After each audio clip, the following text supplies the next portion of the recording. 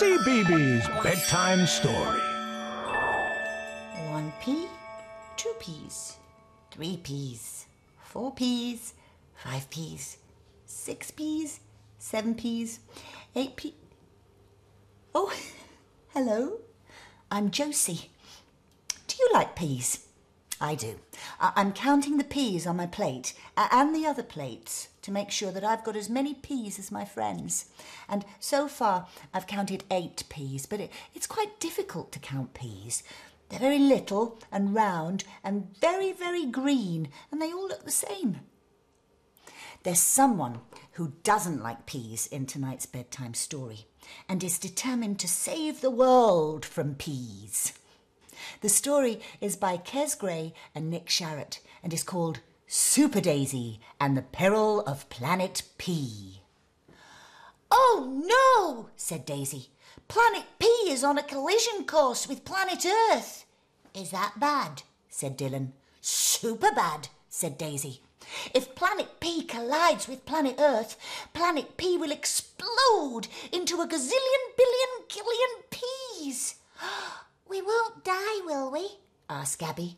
No, said Daisy. It's much more serious than that.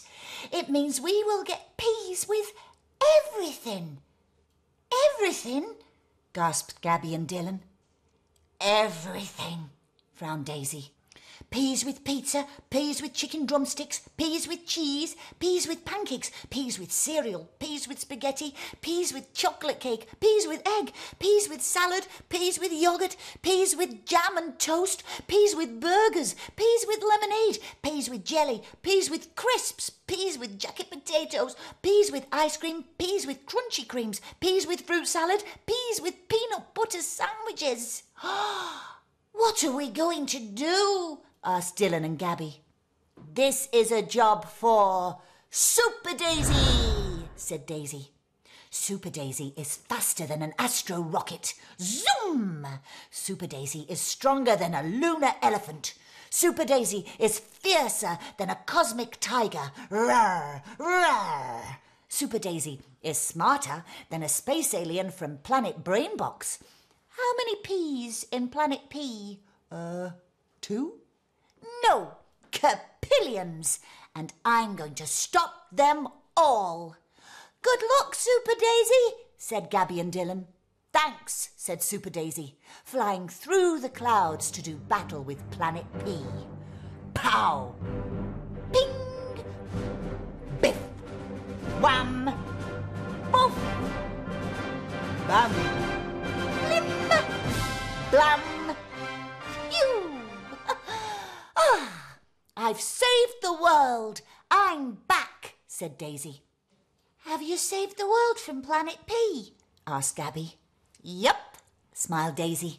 I stopped Planet Pea with my super interplanetary pea popping punching power. Thanks to Super Daisy, there will be no more peas ever again anywhere ever in the world. Dinner's ready, Super Daisy, called Daisy's mum from the kitchen. Super sauce or normal sauce? asked Mum.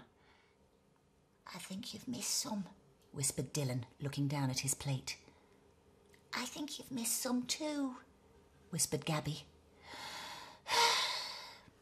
normal sauce, groaned Daisy.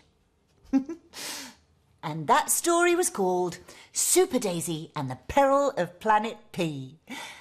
I'm glad Super Daisy didn't get to my peas. I haven't finished counting them yet, and then I can get to eat them. Ooh, lovely. Now, I'll carry on counting them, and while I do, it's time for you to go to bed. I'll see you very soon with another story.